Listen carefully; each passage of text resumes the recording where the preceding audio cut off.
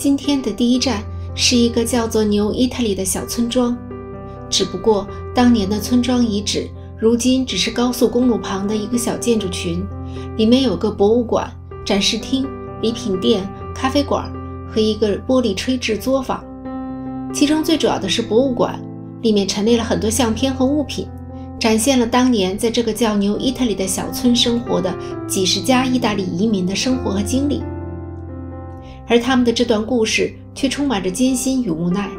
因为他们其实是被忽悠了。当时有个充满偏执和妄想的法国贵族 Marquis de Rays，梦想在南太平洋上建立法国的殖民地，恢复法国的荣光。一八七七年，他开始了自己的计划，宣称要在今天的巴布亚新几内亚附近建设一个新法兰西。他还自封为新法兰西的国王。他宣称那里有大片无人征用的肥沃土地，有阳光、海滩和自由，忽悠欧洲人投资和移民。当时大多被他成功忽悠的都是贫苦的农民。在以威尼斯为首府的意大利北部。威尼托大区就有很多农民心动了，想移民到这个梦想之地。虽然当时的意大利政府对此事表示怀疑，警告过其中的风险，还拒绝给这些人发护照，而且为了移民，每人还得支付一千八百法郎的金币，或者干苦力五年。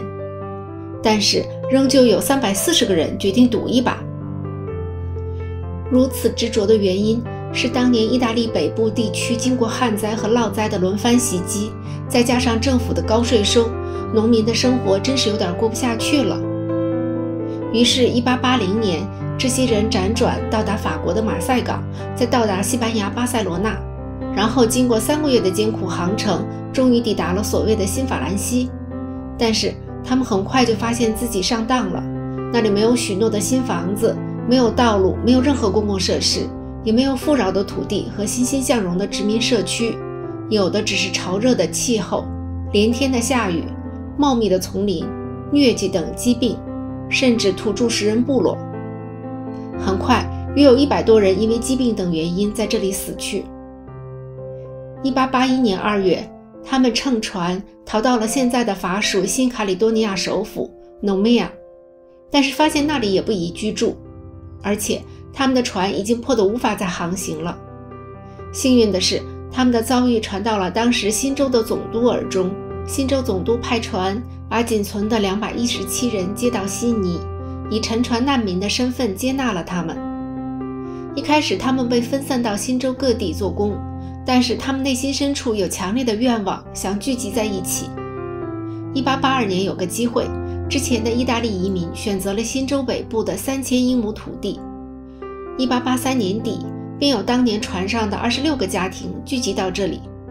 他们称这里为 New Italy。这些意大利家庭通过辛勤的耕作、劳动、打井、